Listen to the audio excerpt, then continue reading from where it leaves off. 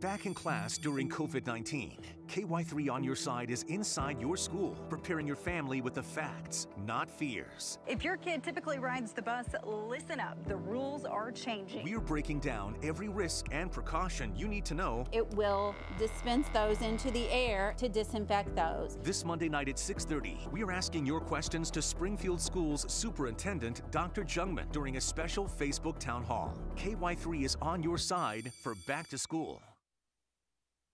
Well, hey there. Thanks for joining us for this special uh, KY3 Facebook Live. We're doing, as you know, a series of these, these discussions with some of the largest school districts in our area. Kylie asks, what about the kids who don't have Wi Fi and can't always make it to somewhere that does? And I guess because she's considering the virtual learning option.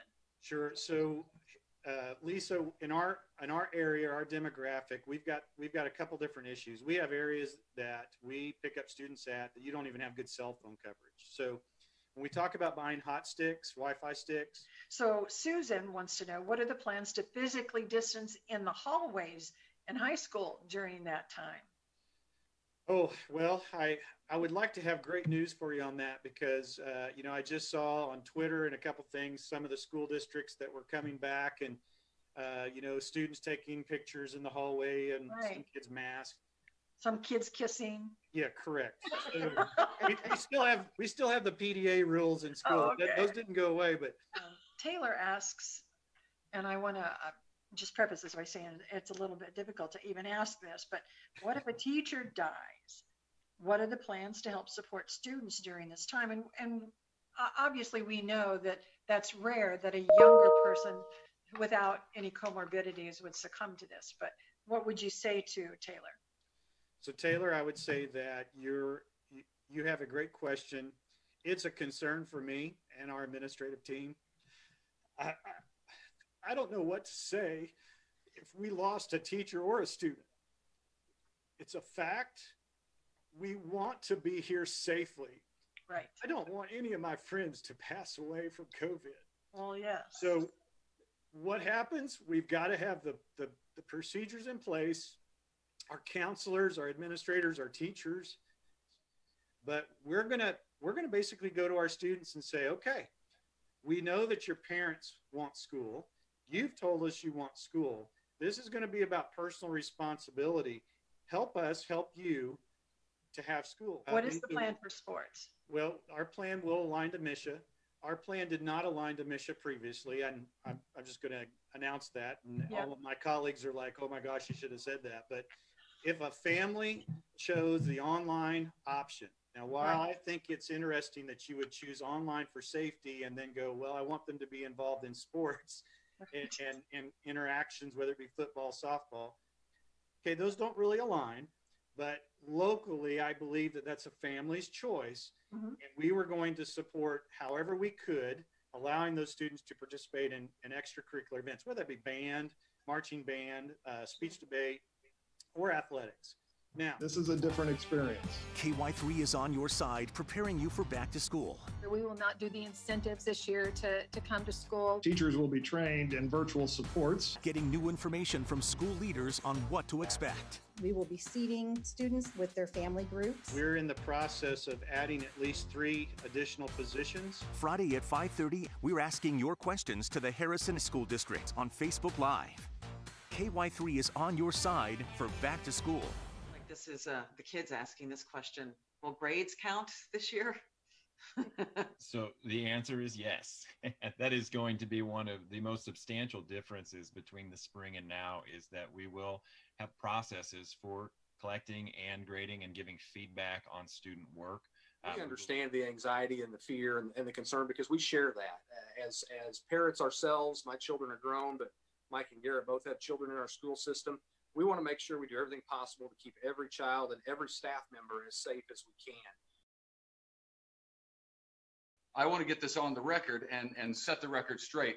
How do I say Berryville? Because we have some folks who work in the KY3 newsroom. They are from Arkansas and they insist, and I think that they're probably right, that it's Burville. It's Bur- Burville as opposed to Berryville, how, how some other people might say it. So you take me through it. How do you, how do you pronounce it? Well, it's probably up for discussion, but but I would pronounce it Berryville. Variable. Very. So it's kind of a, a hybrid there. I imagine there are some parents in this category where they would they would prefer to choose virtual learning from home, but they don't have the proper Wi-Fi connection, internet connection to make that function in real time as needed. What, what do you say to those parents? Is there an answer for them? Yeah, I mean that that is a real problem, and and it's a real challenge for us in Berryville. Berryville is very rural. Um, uh, we did some surveys back in the spring when all this kind of came about, and uh, what we found is we have about 25% of our our families, our students, that really don't have good internet connection or even cell phone connection as far as that goes. So we have set up some hotspots throughout the school district in the more rural areas. Uh, I believe right now we have three. We've we've partnered with some local churches uh, that have allowed us to use basically their parking lots. KY3 is the place to be for back to school. Is that up to the parents to just choose online if they don't feel comfortable? Answered your questions on Facebook Live. They don't want to bring their child to school, then then yes, absolutely. Showed you the safety measures. Can you walk us through the cleaning process of the schools? We're looking for some additional staff that will go through and sanitize the district. In the classroom and on the bus. Families are seated together, and I will have an assigned seat. All of us are learning as we move forward. KY3 is the place to be for back to school. This is a special KY3 Town Hall inside your school. Uh, I know so many people, not just in Lebanon, but across the state and the country, have have really missed having kids in school. Between each route, we'll sanitize the bus and, and, and thoroughly clean it so that it's ready for the next uh, group of students. Thank you, Brad. Laura, how will you handle teacher absences? I know I've been wondering about this too. If a teacher gets sick, how do you set up with getting a substitute and testing and quarantining children in that specific class? Right. Well, we partner with PenMac and contract out for our substitutes, and we're already preparing for you know a possible shortage for our substitutes in the classroom. What we what we do know is that our community needs school, um, and, and communities like Lebanon and, and so many around uh, Southwest Missouri, the community is the school's the, the, the heartbeat, and we, we need to be back in school. And I don't want to say it's been stressful, but my hair was completely brown when we were back in. Earlier, you said things will be as normal as they can be. You're, you're trying to move forward normally. Does that include band and choir? I suppose it does. And, and how exactly will will the differences play out there? Right, band and choir. From what we understand, that's that's really a, um, a tough spot there because the projectile of someone singing, obviously the projectile of somebody playing an instrument. Those those kids who don't have quality internet, it's up to us to meet that need, and uh, we feel like we've taken a big step in that direction. Mr. Johnson, did you want to jump in there? Yeah, I just wanted to add something to the funding side of it. Uh, one of the great things about our community is the support we receive from local businesses, churches, organizations, and we have received m- multiple offers to help out with everything from masks to school supplies. Uh, we uh, all of our uh, younger grades are receiving all of their school supplies for free this year from a local donation. The extended summer break is winding down now, sadly, and there are still lots of questions about where, how back to school is standing in many schools, and we are working to get you some answers. Tonight, our Inside Your School Facebook Town Hall series continues. We're asking your questions live on our KY3 Facebook page to some of the largest school districts in the Ozarks. Tonight, we talk to schools in Arkansas at 530 Berryville schools. And then at 6:30, school leaders from the Mountain View district.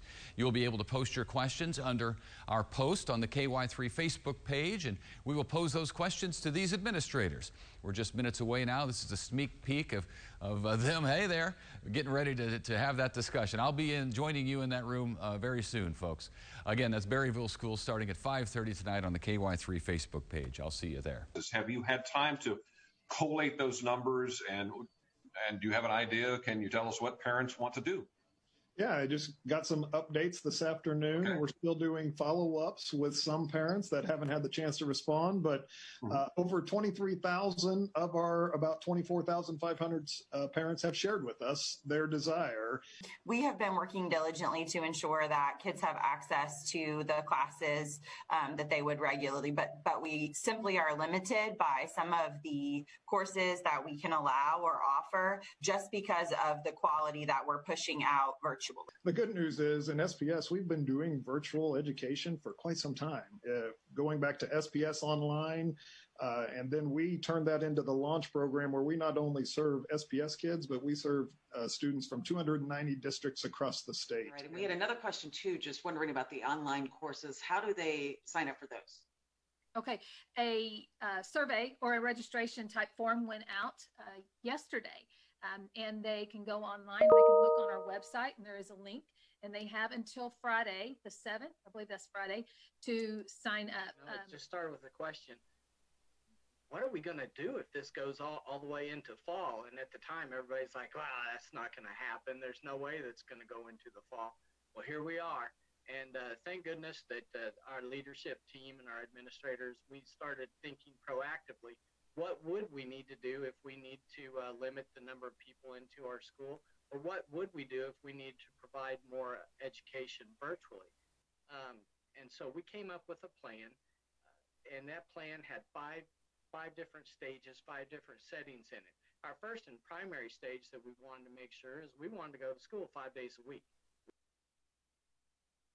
Do you need cleaning supplies or extra masks that they can contribute? I will be honest with you. We have some great relationships with our vendors uh, when it comes to cleaning supplies, um, hand sanitation, uh, room sanitizers, equipment. We are we are set and ready to go. Uh, if we were to open, uh, we would be at what we would call the yellow phase. which There are four phases. Uh, the lowest one is green, and then we have yellow, then orange, and then red. Tiffany wants to know, what about vaccines? Since WIC and certain services have been closed, several of us are behind on the required vaccines for children for school. Well, the real question comes in what because we have restrictions we have to follow as a public school district as well in requiring those vaccines. The real question is the Department of Health and Senior Services are they lifting those requirements for schools and vaccines as the school year starts? And I don't know the answer to that. What's that going to be like, uh, getting on the bus for, for these kids? Well, you know, Mr. Moreland brought up uh, masks, but uh, we're gonna we're gonna ask all our riders to wear masks. Um, we will have uh, some extras on each bus in case a student happens to forget theirs at the house, um, and then we'll collect those at the end of the ride and wash those. And and there we have them each uh, individually ziplocked. Uh, what about uh, testing for kids who, who who think they may have symptoms? They show up in the morning and then by lunchtime they, they think they they have a fever or they, they they're having some symptoms. What do you do in those instances? So we have created some isolation rooms within our nursing offices. So we would obviously isolate that student and we would call the parent. Uh, Sherry on Facebook is, is asking if a student comes down with coronavirus, will you waive the attendance policy? And and I would expand that to even the people around that student who may have to quarantine. So absolutely, um, you know, and we're the we're not we're not even talking about attendance policy at this point. Um, and actually, that's being removed from our handbooks for this year, just for the fact that um, it doesn't make sense. School districts in Missouri, Southwest Missouri, there's a lot of great school districts. Specifically for us, Cassville's a great school district. We've got a strong community with strong beliefs. Don't lose faith in the end of the story. We can do this. We can do this.